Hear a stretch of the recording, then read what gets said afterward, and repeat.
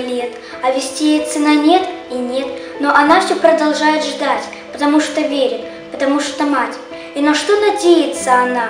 Много лет, как кончилась война, много лет, как все пришли назад, кроме мертвых, что в земле лежат.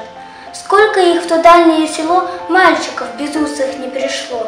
Раз в село прислали по весне фильм документальный о войне. Все пришли в кино, и стар, и мал, кто познал войну, и кто не знал. Перед горькой памятью людской разливалась ненависть рекой. Трудно это было вспоминать. Вдруг с экрана сын взглянул на мать. Мать узнала сына в тот же миг, и зашелся материнский крик. «Алексей! Алешенька! Сынок!» Словно сын ее услышать мог. Он рванулся из траншеи в бой.